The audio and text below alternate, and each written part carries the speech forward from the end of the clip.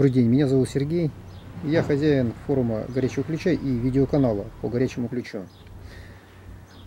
Темы на этом видеоканале я выбираю из своего собственного опыта. Мне кажется, что эти вещи будут интересны другим, тем, кто еще не переехал сюда, и те, кто собирается покупать или квартиру, или дом.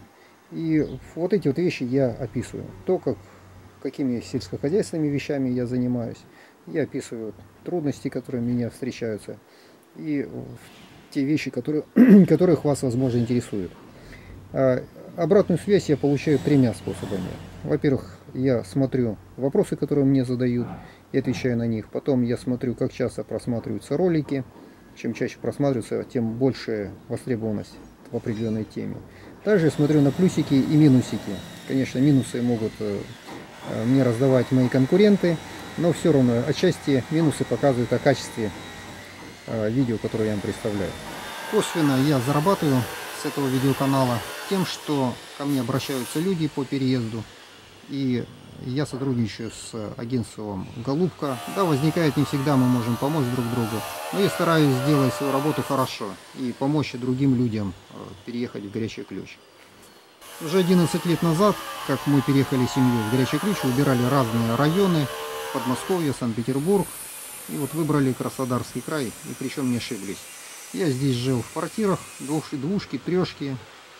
Потом я жил в каменном доме. И вот построил каркасный дом, и теперь живем семьей здесь. Три года. Я жил в районе церкви. И, насколько мне позволяет мое время, занимаюсь сельским хозяйством. Если вас интересуют какие-либо вопросы по горячему ключу, не стесняйтесь, обращайтесь. Также хочу сказать тем, кто собирается сюда переезжать, то тогда, чтобы у нас разговор был более предметным, нужно озвучивать бюджет, который у вас есть, а также условия, в которые вы хотите переехать. То есть это дом, квартира, также наличие детей и так далее, и так далее. Также я обращаюсь к жителям Горячего Ключа, которые имеют гораздо больше опыта, скажем, в сельскохозяйственных а, работах и могут э, с большим толком и ясностью рассказать, как правильно выращивать, скажем, огурцы или, скажем, помидоры или, скажем, сделать виноград.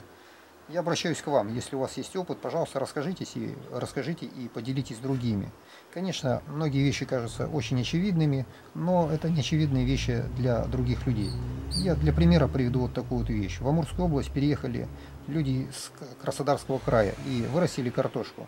Они положили а, на зиму в гурт, то есть э, насыпали картошку на саму землю и сверху засыпали травой.